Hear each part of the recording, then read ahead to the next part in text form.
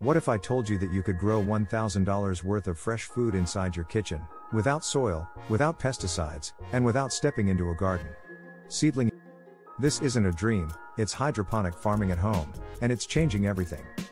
Imagine a small system on your countertop, no bigger than a coffee machine, producing lettuce, basil, and even strawberries, all year round.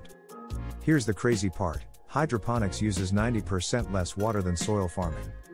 That means your plants grow faster, cleaner, and with almost zero waste. Families in Toronto, London, and New York are already doing it, saving hundreds of dollars on groceries while eating fresher than ever. And you don't need a backyard. You don't need special skills. All it takes is a simple kit, some seeds, and a little curiosity. Within weeks, you'll be harvesting food right inside your home. Hydroponics isn't just gardening, it's a $1,000 secret that can transform your health, your wallet, and your future. Seedling. Right pointing finger emoji, want more futuristic food hacks? Smash that subscribe button to Smart Nature Care, because the next video will reveal secrets grocery stores don't want you to know. Don't miss it.